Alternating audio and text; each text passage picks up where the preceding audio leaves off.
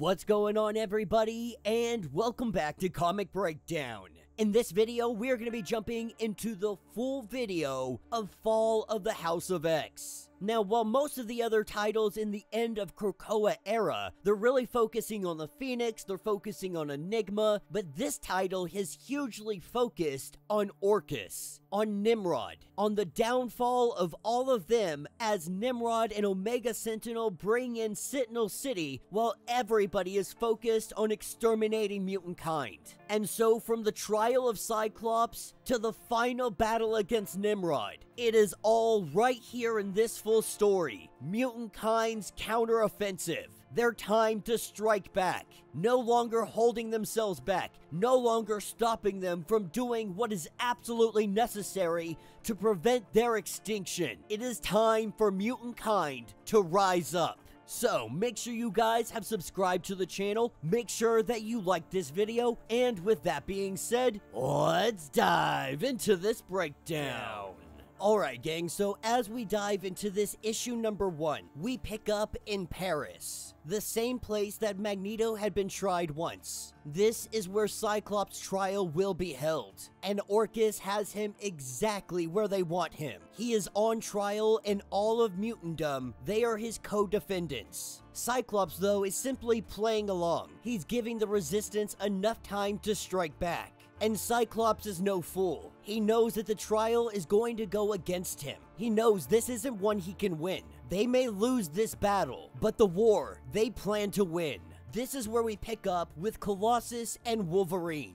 One thing that the Krakoan Age has brought us is the advancement in mutant technology. By combining mutant powers, we call this a circuit. There is an ongoing consensus among historians that the primordial circuit is mutant technology, really referred to as a fastball special for their advancement. The same name as the physical attack where Colossus pitches Wolverine with uncanny accuracy at its target. This is where we see Colossus throw an Orchis agent. He throws him right down the plate, and this Orchis agent lands right in the claws of Wolverine and Colossus with Wolverine discussing what they're gonna call this move. Wolverine suggesting that they call it the Screwball Special, simply because they were screwed to begin with. But the two of them are underneath the courthouse in Paris. They are preparing to free Cyclops. The mutants have gathered for the rescue, and it is only a matter of time before they put their play into action. Meanwhile, we have Cyclops being interrogated by Dr. Gregor.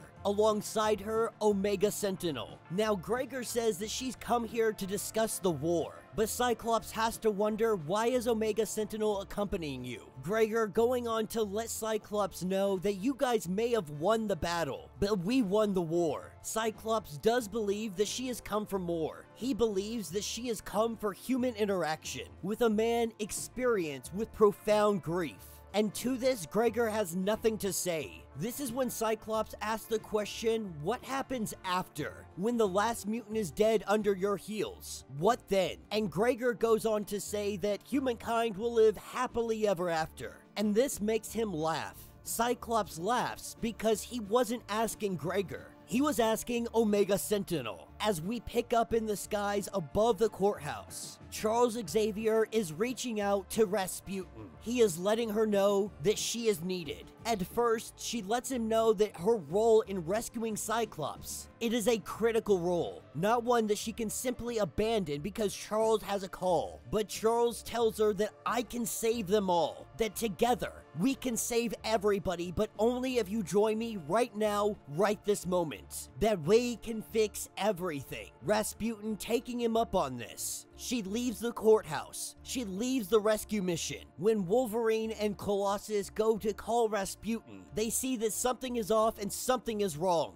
With a rumbling in the tunnel, there is a huge explosion. Orchis is down here waiting for them with a giant electromagnet. Both Colossus and Wolverine are pinned up against the wall. Taking a flamethrower, they begin to burn Wolverine alive. The Orchis agents laughing with joy, but that joy is quickly interrupted with the arrival of Kurt. Nightcrawler bamfing in, kicking some butt. He is letting them know that Rasputin has disappeared, that perhaps it is time to launch the invasion of Earth. that rescuing Cyclops has to come second now. This is where we pick up with the trial. They have come to this court to say mutant kind are nothing more than a menace. They're an invasive foreign species. And when it is time for Cyclops to have his defense, he says absolutely nothing. He refuses to dignify this with any kind of response. He knows humanity can be good, but he refuses to be prosecuted by it. The judge does warn him that if you continue down this path, you are surely gonna be found guilty. But in his mind, there is only one person that can truly judge him, and not a single soul is her. This is where we take off to the Orchis Bloom. At this point, they're already celebrating. They're already pouring their glasses of champagne. Feilong, Dr. Stasis, Omega Sentinel, Dr. Gregor, all of them are sitting here ready to have just the time of their life believing that this is over, the war is won, this is game over. To put the final nail in the coffin, Omega Sentinel sends Nimrod to kill Krakoa, to end the island once and for all. Now, when Nimrod shows up, he thinks this is gonna be an easy task. I'm gonna take down this island, I'm gonna return home, and we're gonna build Sentinel City. As Nimrod charges in on the tree, this is when Krakoa spits amber on him. So much amber that Nimrod's systems freeze up. It completely disables him in a single moment. And that's when Krakoa sucks him down into the island. The vines wrapping around Nimrod and the amber he sends out a distress call. He lets them all know that he has been disabled and they got a runner. This is where Krakoa unroots itself and it takes off. Now in a weakened and diminished state, Krakoa is running for its life. This is when Dr. Gregor goes on to give a speech to the people of the world, letting them know that the next few hours are gonna be uncomfortable, that they are finally gonna remove the threat of mutant kind, that Krakoa will be eradicated, and the mutants that don't leave the planet, they will be liquefied. This is the final warning to any mutant left on Earth. This is where we pick up with our mutants. Everybody is waiting for Iron Man's big plan to take place. The plan we will see unfold in Iron Man issues 14 and 15. He is executing this plan now. They weren't ready for the invasion yet, but they have no choice now. They must spring their trap now. This is where she is going to drop down. Kitty Pryde is going to drop down, use the gateways because she's the only one that can use gateways. Still unexplained on why, but she's going to use the gateways to communicate with their other forces so they can coordinate their attack. The first person she goes to is Iron Man and Emma Frost and then she goes to planet Arakko. Lets Woofer know that it is time to be ready with Forge's fleet coming from deep space. And Emma Frost sends out a message, letting everybody know that we are fighting earlier than we anticipated. But she has the utmost confidence in all of their abilities, that they will, they must succeed. The whole world is at stake, that they are fighting off extinction, and in the coming hours, everything is about to be determined. This is where we pick up at nowhere. We pick up with Broo, leader of the Brood. Now, Broo is expecting Jean Grey, but the person that arrives is Polaris, and she is asking Broo, Are you ready for war? And because Jean Grey had saved Broo's life, saved his entire species. He is ready to fight by the side of mutant kind. And so Polaris and Broo, they head off to war. Alright gang, in this issue, we jump right into the fray. Polaris having that giant celestial head directly behind her she has made her way right to the doorstep of Orchis. Both MODOK and Dr. Stasis, they watch as she comes in. With her powers and the Mast of the Celestial, it would overwhelm the Bloom shields. Dr. Stasis lets us know that the fleet of ships from Morocco, they hid Stark's Sentinel Buster armor. He assumes that this giant celestial skull is the mutant reinforcements. He declares to kill every single mutant that they see. This is when we see the skull crash into the bloom, and in the destruction, Polaris boards the bloom. Having her shield up, she is only waiting for the attack to begin. The Orchis agents had no idea what was coming for them.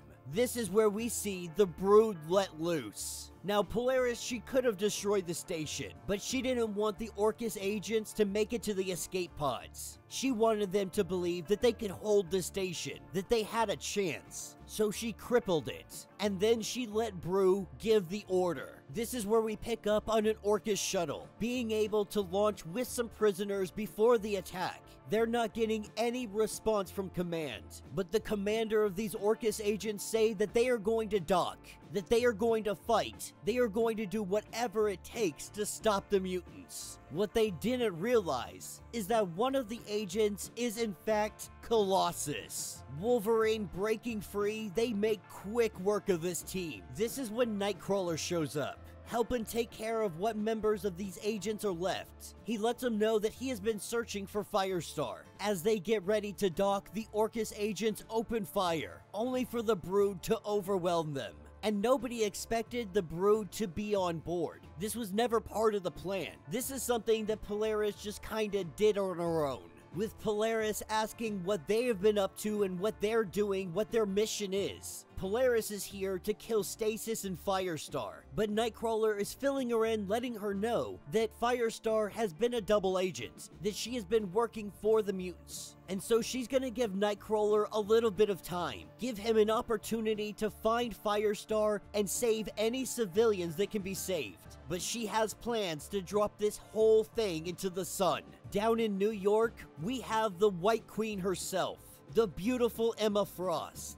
She gives a sit rep of what is going on. Shadowcat in Paris trying to rescue Cyclops. We have Juggernaut who is out there rescuing Krakoa after being brought down with some sentinels. Juggernaut's coming in with one of Cable's guns. He makes quick work of these Stark sentinels and he is able to rescue Krakoa. That's when Emma has her own problems. A Stark sentinel finding her in New York communicating with Rogue asking if she will go assist Juggernaut in picking him up, getting him and Krakoa out of there. The only problem, Rogue and Gambit have a plan of their own. Rogue sets the plane on autopilot. She sends the jet back to Emma, lets her know that they got their own mission. Of course, Emma's concerned about this, thinking that now is not the time to break ranks. What could be possibly more important than what we have going on? This is when Synch shows up using the powers of Iceman helping bring down the Stark Sentinel, letting her know that if Rogue says she's got something to do, it's gotta be important. Right now, they have Stasis trapped in orbit. They need to neutralize more high value targets. This is what takes us to the once Xavier School for Gifted Youngsters. After everything started to go down, this is where Rogue decided to hide Manifold,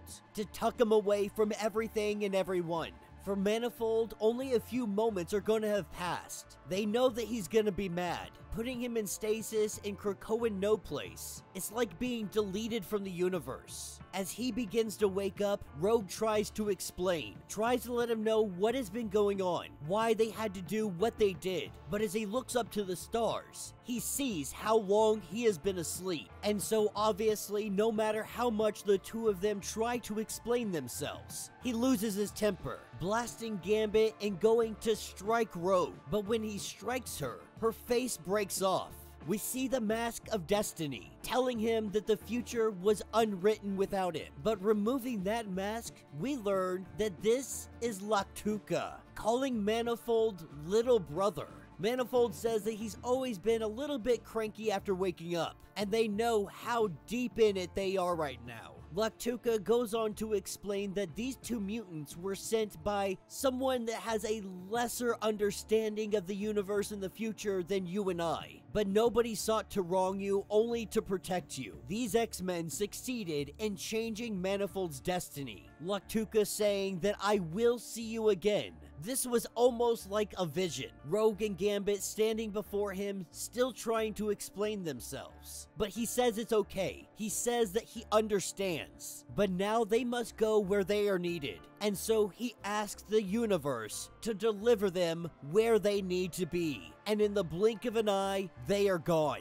This is what takes us back up to the Orchis station. We have Wolverine that is chasing down Dr. Stasis. But Dr. Stasis, he is lucky enough to get onto an escape pod. He is able to break out of here. And then MODOK shoots Wolverine in the back telling the X-Men that he does admire the fact that they used the Brood against them and he takes this opportunity to get out of here. Then we have Polaris, Colossus, and Nightcrawler looking for Logan, telling Brute to get his entire people back to nowhere.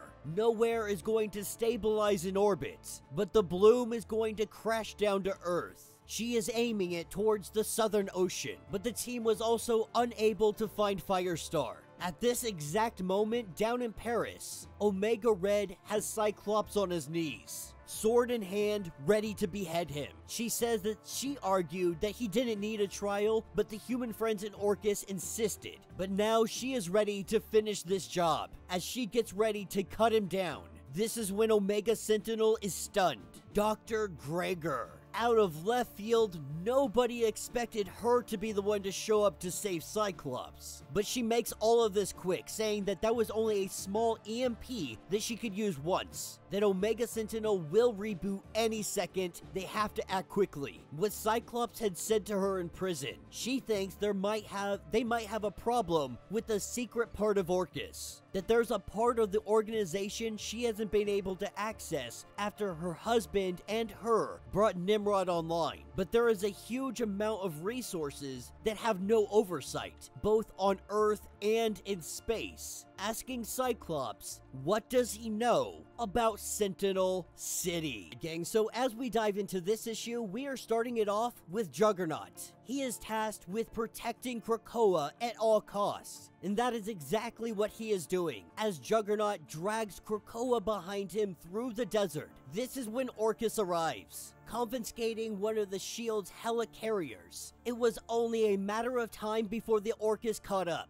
slowing down Juggernaut by shooting him in the leg with a harpoon made of adamantium, repurposed metal from the corpses of Wolverine. Juggernaut using his body to shield Krakoa. The Orchis agents are unleashing hell. In all of this, Juggernaut has found himself more angry than he has ever been, surviving the attack from the Hellfire Gala. He has sworn to protect Krakoa at all costs, to wait for the reinforcements. This is where we pick up with Dr. Gregor and Cyclops. We have found that these two are now working together, with Dr. Gregor putting down Omega Sentinel, and these two are headed inside the Orchis facility. Cyclops has come to the understanding that the AI is the biggest problem they have right now, because their goals are much bigger than just killing mutants. And Cyclops must ask the question to Dr. Gregor, who controls Orchis? Who really controls it? Now, for a while, she believed that they did, that the humans did. But now it is looking like Omega Sentinel and Nimrod have been doing their own thing. The humans, Orchis, are slowly starting to understand this, but it's already too late. This is when Magik shows up, bringing Cyclops a visor. Cyclops is letting Magik know that everything going on with the AI is just too quiet. He wants to go after Nimrod.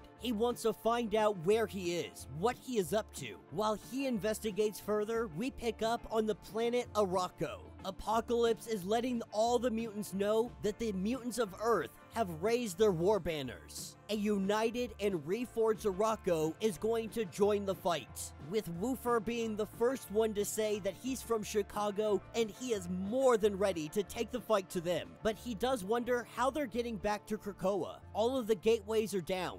And where is Storm? Apocalypse says that there's still magic left in all of these worlds. When it comes to Storm, like a storm, she can be hard to predict. But with a giant boom and a blinding light, we have the arrival of Manifold, teleporting himself in with Rogue and Gambit as well as Sword Station. This is how the mutants are getting to Earth. Manifold being one that loathes war, but knows now is the time. It is the time for all mutants to fight back, to stand up, to take back what belongs to them. All who board Sword Station, they go to their deaths. Not everyone will make it through the night. It will be a bloody and hellish battle. But today, the invasion begins. With everybody getting on board, Sword Station teleports right next to Sword Station number 2. The two stations creating a giant X in the sky. This is where Apocalypse, Rogue, and all of the others begin their assault. As they begin their descent, Rogue cannot help but what Destiny had told her that there would be a day like this. So much death and destruction,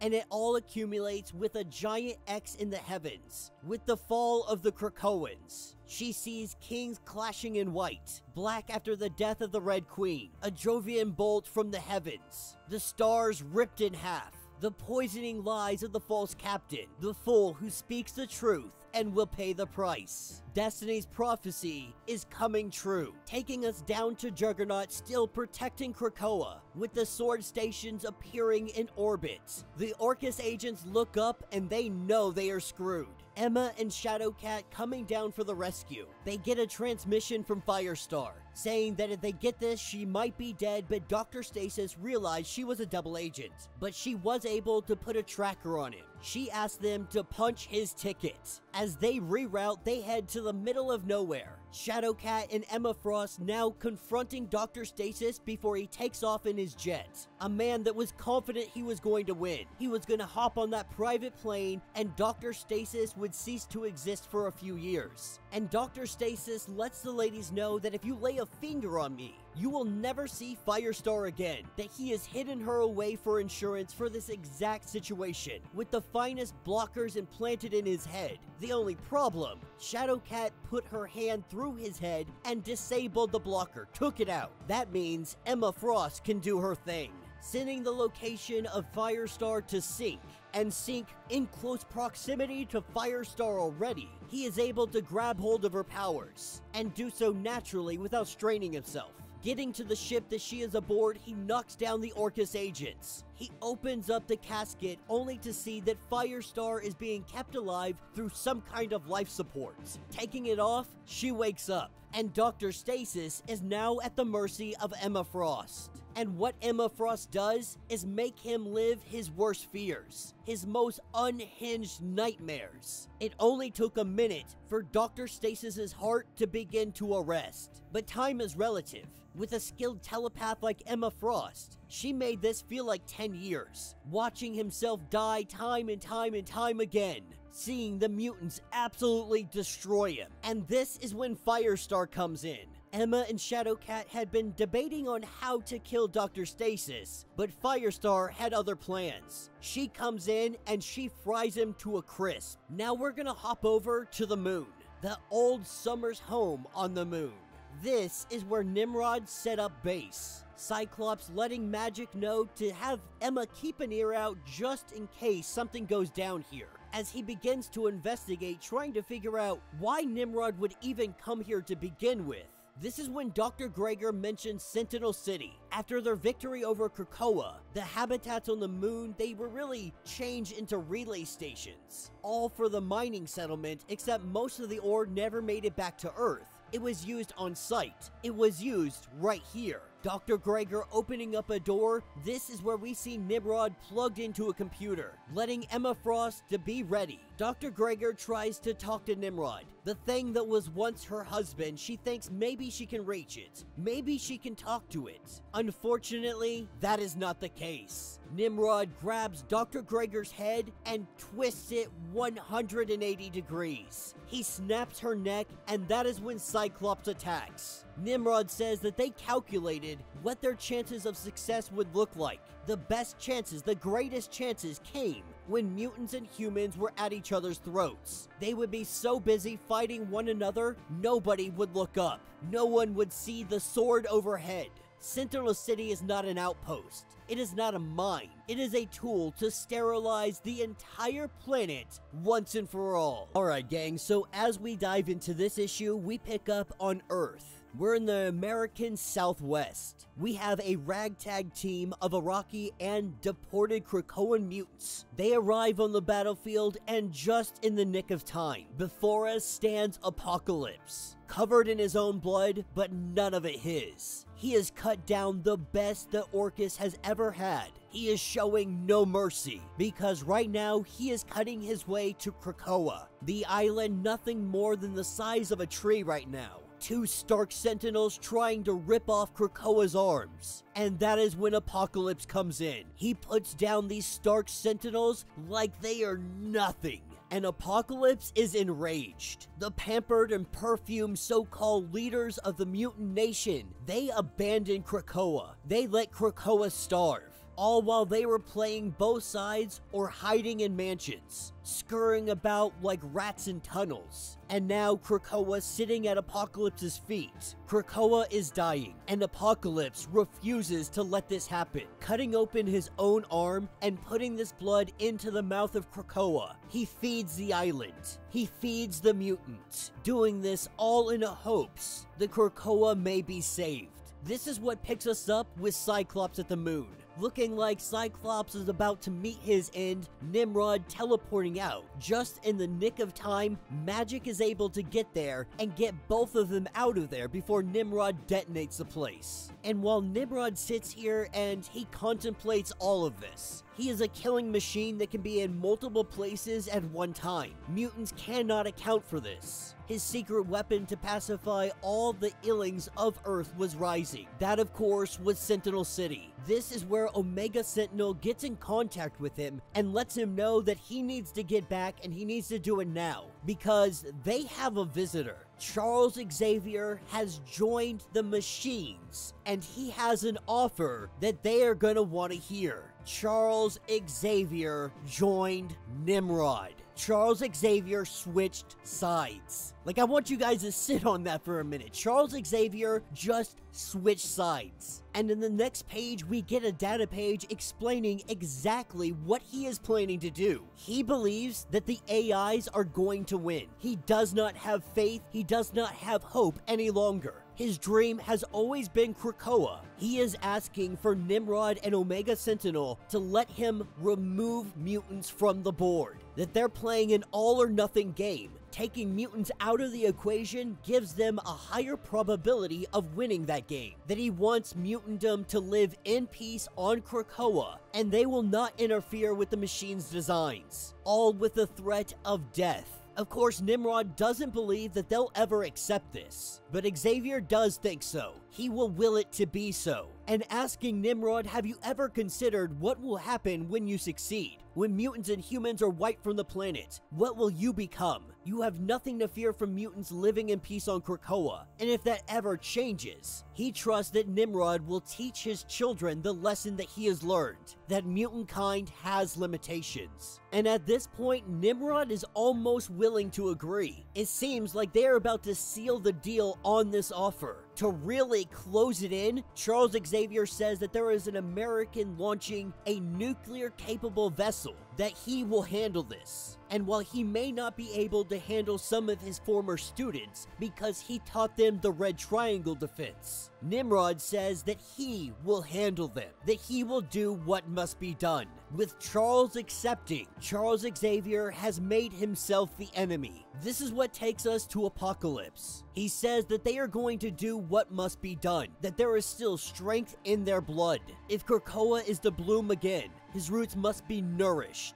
Krakoa feeds off of mutant energy. They grew so large in accommodating all of them, and now Krakoa has been starving since the night of the Hellfire Gala. And so the first sacrifice steps forward, an Arakkii born, seen his fair share of battles throughout all of these ages, mutant and proud. But this story is near the end, and he wishes for glory. With Apocalypse witnessing him, he tells the warrior to come forward. He strikes at Apocalypse, and then Apocalypse smashes his face in. A glorious death for a glorious cause. But this single death will not be enough for Krakoa to set roots. That there must be more that step forward. This is where we have Wrong Slide. After being in Otherworld and being resurrected, he came back as Wrong Slide. A completely new and different person. Wrongslide may not have lived long, but he is mutant energy. Maybe even enough so that nobody else has to die. And so with him stepping forward, Apocalypse lets him know that the two of them are now joined in a duel to the death for this broken land. With the sun getting tremendously bright, some saying that it is going nova, Apocalypse already knows that it's the machines, that that is not their fight. Wrongslide, Apocalypse charging at one another, the Crucible beginning to stabilize Krakoa, and above Earth,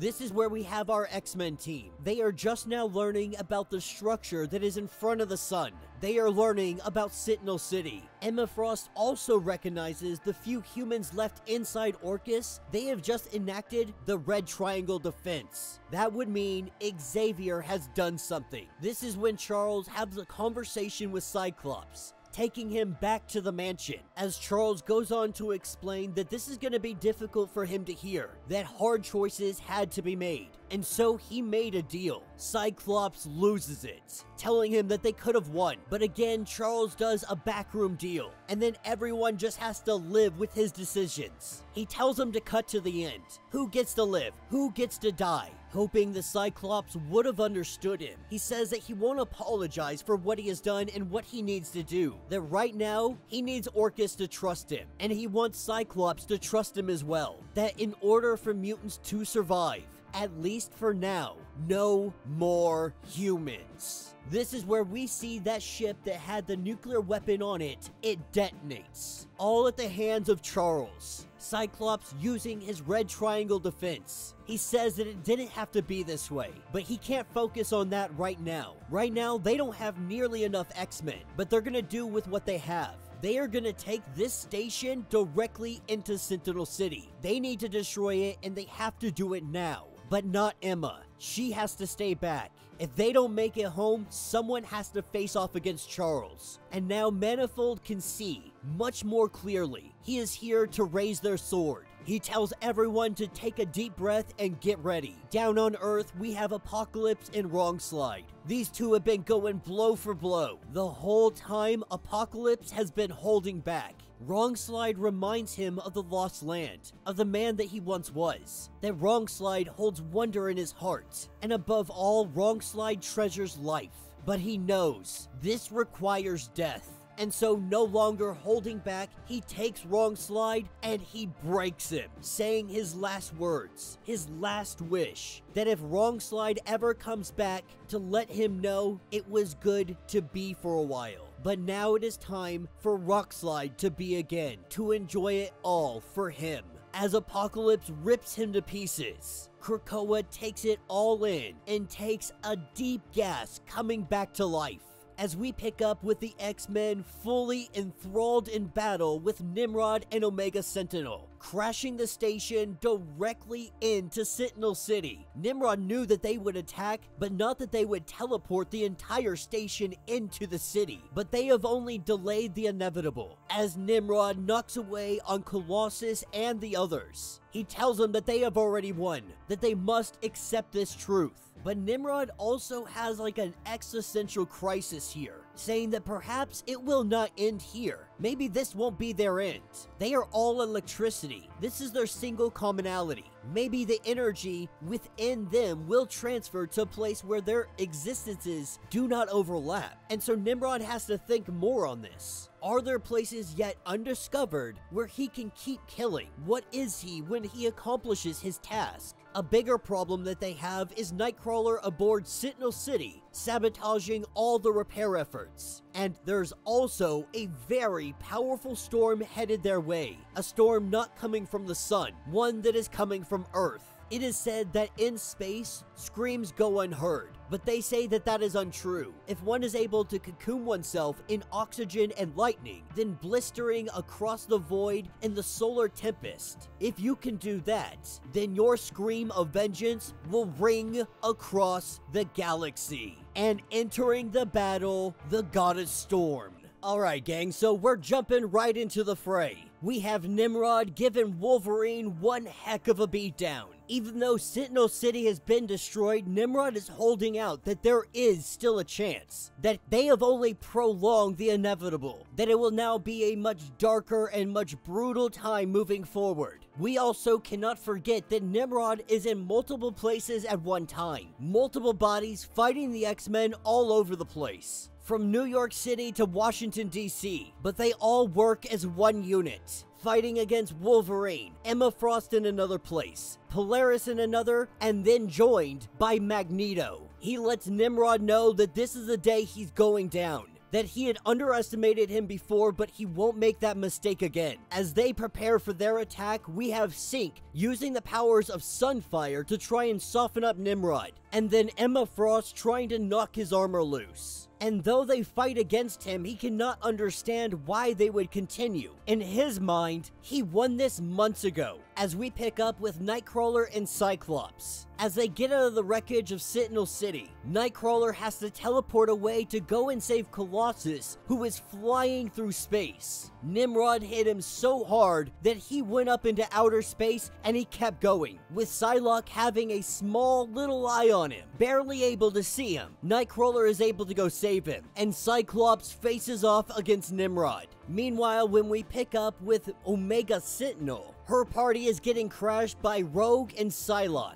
With Omega Sentinel so focused on Rogue, she never saw Psylocke coming in from behind her and using her dagger, piercing through the mind of the machine. She thought that this would kill her, but it didn't. All it did was destroy the machine part of her, the AI. The only thing that is left over is what was once human, with them deciding to leave her in her agony, dealing with the pain of everything that she has done, drowning in the sorrow, the regret. The part of her brain that was Karima had been partitioned away for so very long, taking us back over to Cyclops and Nimrod, with Magik knocked unconscious. Eden as well. We see Cyclops use his blast and hit Nimrod, in every one of those endless simulations which came to the end of the X gene. Cyclops was the Omega Mutant, the last one standing. His gift had the ability to crack Nimrod's armor, but Nimrod had been learning, grabbing hold of Cyclops. He tells him that he is the toughest of all of them, and he's not sure if he's going to see him in what they would consider a next life. But if there is one, Nimrod will follow him. He will hunt him down in any and every life as we see each of the Nimrods holding on to one of the X-Men. Synch, Emma Frost, Polaris, Magneto, and Cyclops. Getting ready to break their necks. This is where we have the arrival of the goddess herself. Storm comes in with her lightning bolt and she hits Nimrod. A billion calculations only to be wrong about the last X-Men standing. This is the most humanity that Nimrod would ever achieve this affecting every one of the duplicate Nimrods, a flaw that he did not perceive. Being able to exist and think across vast distances requires a lot of data and power. This is something the Storm really manipulated and exploited. So all of the Nimrods currently are feeling that electrical flow through their body, disabling them, putting them down, but they have yet to fully go down. So this is where Polaris and Magneto, they use their powers together, and they help out the goddess. As Storm prepares to put down Nimrod, we see that Storm is trying to show some kind of mercy to him. She tells him that if you stop fighting right now, this war, it ends. If the X-Men stop fighting, they die. That this is the huge difference between the two of them. As they battle and Storm uses lightning bolts to take him on, Cyclops is able to crack open his armor. This is when the goddess commands the lightning and forces it into Nimrod's body, unwilling to yield. Synch reaches out and uses Storm's power, helping her out as well. Magneto and Polaris creating a magnetic field. The storm that Nimrod had faced even wiped out all of his duplicates, including all of the ones that were hidden away from combat. Nimrod's last words, You vermin will follow me into the abyss. With the battle being won and the X-Men gathering everybody together, they prepare to get out of here. With Prodigy asking the universe to open up and teleport them away. All of the X-Men get out of here, except along the way, Eden and Scott get grabbed up. Eden not knowing where they are, what is going on, he looks up and what he sees is Lactuca greeting little brother. Lactuca had taken them away from the threat that is currently happening, the threat of Enigma. If Enigma looks in their direction, the only thing that they will see is the void of the cosmos. They would be unable to see Lactuca, Eden, Scott, or anybody else, at least within the vicinity of Lactuca. And Eden knows that if she is here, they are in good hands. But the universe is on a precipice, and Scott Summers' heart, that will tip the scales away from death and towards life.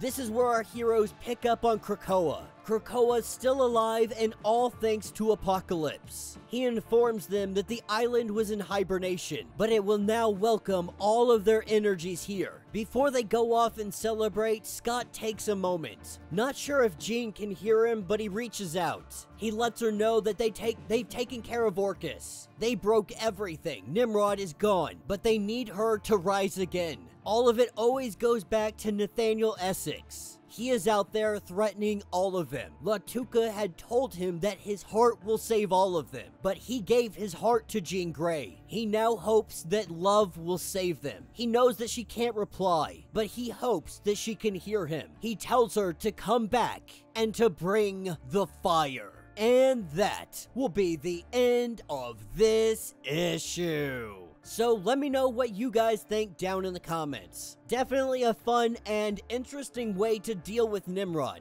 Now in the Sins of Sinister timeline, we saw a few variations of how this could go down. This is definitely on the more extreme aspect of things. But we do have multiple Nimrods here, duplicates all over the place, really at the same power level as one another. Their only flaw is that they are all connected. This connection allowed Storm to fry not just one, but all of them. But we got to see our heroes shine bright, working in unison, working as a circuit, taking down Nimrods all over the globe. And so the battle has been won. Orchis has been defeated. The Stark Sentinels have fallen from the sky. And while they celebrate this victory, the Great War is on the horizon. The war for everything in existence. The war for everything that would matter. The only weapon that is out there that could help them, that is the Phoenix. Hope Summers just recently sacrificing herself, becoming what she was born to always be. Fathered by the Phoenix through Jean Grey, she became the Messiah she was prophesied to be. The next battle will be the Phoenix versus Enigma. So let me know your thoughts, let me know your theories if you want to get caught up on everything going on with this era of X-Men. Check out the link in my description as well as the top of this video. It is going to get you completely caught up on everything going on with this series. If you would like to support the channel, you can always do so by joining the channel membership. Much like Patreon, having multiple different tiers, from $1 to $50, from loyalty badges to comics every single month. Not only are you helping out the channel tremendously, but you are getting tons of perks in the process. Now, if you're unable to do this, do me a favor, subscribe to the channel, like this video, hit that notification bell, and with that being said, until the next breakdown.